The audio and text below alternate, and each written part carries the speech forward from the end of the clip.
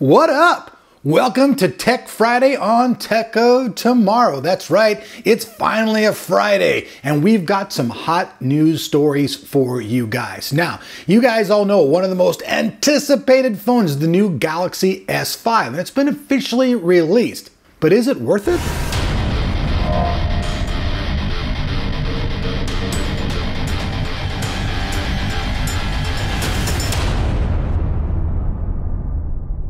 Today's video is made possible by Squarespace.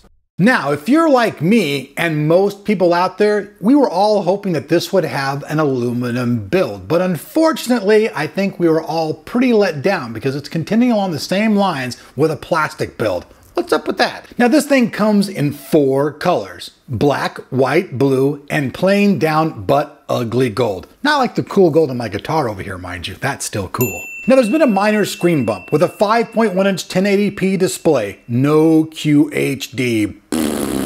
Slightly faster 2.5 gigahertz quad core processor and a 2800 milliamp hour battery. Now, the new Galaxy S5 is IP67 water resistant and dust proof. However, this is a far cry from being waterproof. Now, you might get away with dropping this thing lightly in water, but if you try to go swimming or dive into a pool anywhere, this thing's gonna go now, one thing though, with this phone being water resistant and dust proof, the USB port is now covered. And I'd like to know what you guys think about that feature. Is that a pro or a con? Now, the camera is actually one of the bright points of this thing. It's got 16 megapixel camera and also features full 4K resolution filming. So those are actually pretty cool things about the new Galaxy S5. Now, just like the iPhone 5S, this bad boy also has a fingerprint reader for security reasons, just like the Apple one. Now, one thing that I think is really cool though is Samsung is leaving their API open for people to develop, unlike Apple who locks everything in-house. So this might actually be a really cool feature about the phone in the future as well. Some people may argue about security, this and that, but let us know what you think. And lastly, but not least, the Galaxy S5 features a heart monitor. That's right. So you know if you're getting excited with that sexy girl walking by, uh, sense that heartbeat going up. You're bored, sense it going down. All in all, kind of neat stuff. Are you guys disappointed or are you guys excited about that? That's really the main thing we want to know about this number one story of the day. So down in the comments below, let us hear what you guys think. Is the Samsung Galaxy S5, is it a win or is it a lose? Inquiring minds like mine want to know. Next up, AMD fans, another day for you to get up and cheer. That's right. The latest Catalyst beta drivers have been released. 14.2 has been released from AMD, and there's some actual fine points about this. Now, one of the main highlights is for the latest version of Thief.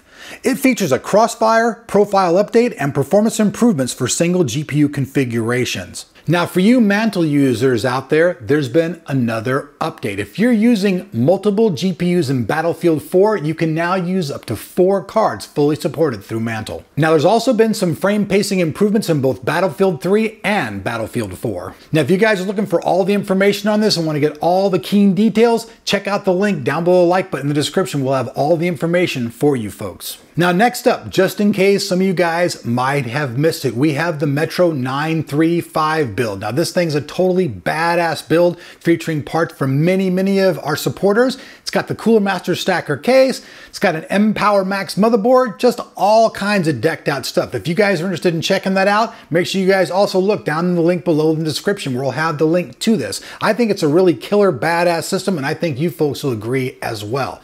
Also, it's the end of the month and we have the top five deals of the month for you folks. We know you guys like these every month, so every month, the end of the month, we bring you the top five and this month is no different. So make sure you guys check that out. And of course, we want to send a special thanks out there to Squarespace for making this video possible for you good folks. Now, one thing that's really cool about this though is its GUI interface. It has all the drag and drop menus you want to use, all the type of plugins you need to get your website up and going. It's something very interesting. If you're looking for something that's very quick, easy, and efficient, just make a quick website and get up and going, Squarespace is something that you guys are going to want to check out. And one thing that's also ultimately cool is you guys can actually save yourself 10% and get a free trial membership by entering the code TOT2 at checkout. So that's really incredible stuff. You guys can save money, check out what it's like to have your own website, and if you like it, you can stick, and if you don't, you can dump it to the side of the road. But actually, Squarespace is really cool and it's really intuitive for those who are brand new to creating websites. Like usual, I know I'm reiterating this a bunch of times, but if any of this information you missed, it will all be down there in the description. Now, there's been a couple people have actually sent me emails and said, hey man, where's the description? Well, when you look at the video, just look right below it and there's a little thing that says description. You hit that, it opens up, shows you all the wonderful details about what's going on in this video. I'm Elric here at Tech of Tomorrow. Hope you guys like this kind of stuff. If you do, make sure you sub to the channel so it'll be in your inbox when we release more videos. Peace out.